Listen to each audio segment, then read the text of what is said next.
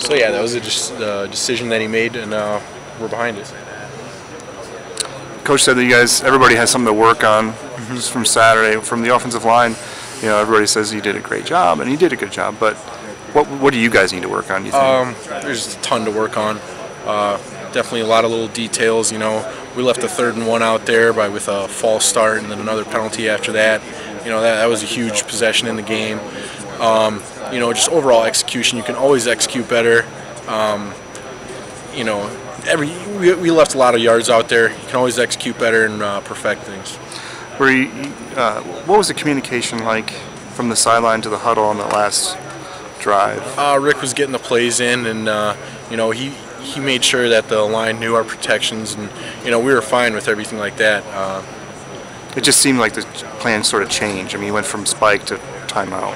Uh, yeah, you know, that was, I, th- I think that Coach O'Keefe just wanted, uh, you know, have the next play a little bit more organized instead of just, uh, you know, whatever Rick called on the fly there. Do you think people are putting too much attention to that because Absolutely. I mean, there's, how many plays could have changed that game, you know?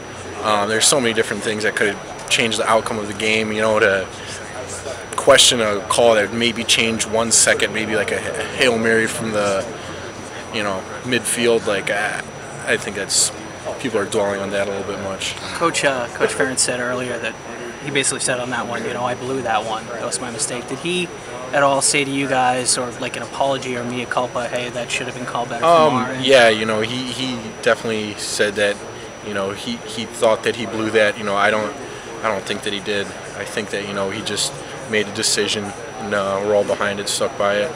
You know, didn't execute it. Um, I forgot what I was going to ask. You knocked me That's off. probably what I was you were going to ask. Thanks, man.